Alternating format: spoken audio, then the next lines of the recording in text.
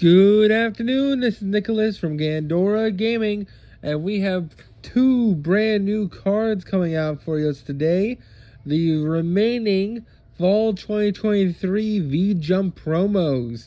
So uh, let's go into this. We have two new cards. Both are based around Yusei Synchro deck, and let's see if they're any good. So first things first, we have Drunk Dragon Scent or Dragon, or my apologies. We have Junk Dragon Set slash Junk Dragonlet. And it's a Earth Machine effect monster, level 5, 2100 attack, 1800 uh, defense.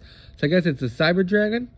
Uh, you can only focus on this card once per turn by its effect. You can only use its uh, name once per uh, second effect once per turn. if you control a synchro monster, you can special summon this card from your hand. When a synchro monster you control declares an attack, you banish this card from your graveyard. The attack monster gains 800 attack until the end of the turn. So, do I think this card's good? Not really. I'll be honest with you. It requires you to have a synchro on field. It is just a free level 5 that special summons itself, which is cool. But it does take, it is just a brick in hand. I, I would say the only way you play this is as a one of that's searchable. And basically, you want to make a synchro, search this card, then summon it for free synchro material. But overall, the fact it requires you to have a synchro on field really, really sucks. Because it's a level 5.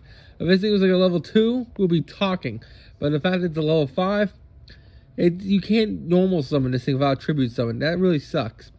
And then we have Magical Elf Burgundy, or Burgundy the Magical Elf, whichever way you pronounce it. The Dark Spellcaster, level 4, 1600 attack, 1400 defense.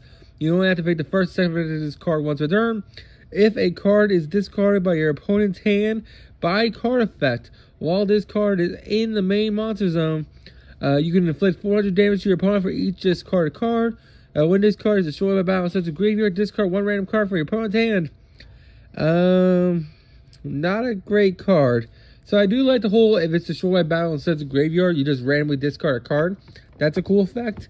It's like, ooh, you just get a hand rip. And like older formats, this card would be insane.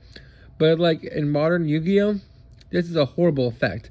Like effect one, number one, and this card is discarded from your opponent's hand by card effect.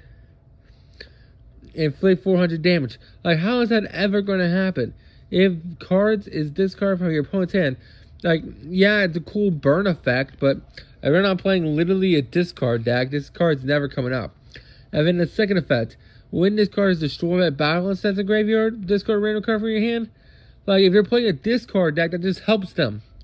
Like you're just discarding a, a Dark World for them. Like I don't know, this card seems ass, but it's cool. Whatever. I think both cards are mid. Anyway, hope you all enjoyed. Don't anything stupid. I'll see you on next one. Thank you.